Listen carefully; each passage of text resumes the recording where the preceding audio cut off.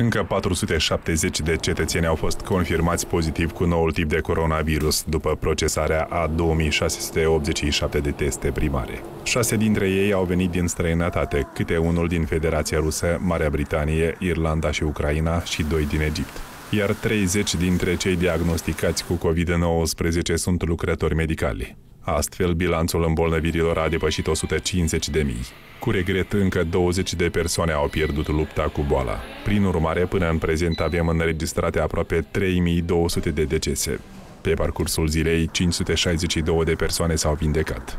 În prezent, în spitale continuă tratamentul în jur de 2500 de pacienți, cu 45 mai puțin decât luni. 220 sunt în stare foarte gravă, iar 44 au fost intubați. În tratament la domiciliu cu forme ușoare sunt aproape 4400 de oameni, iar în jur de 21.000 se află sub supravegherea medicilor.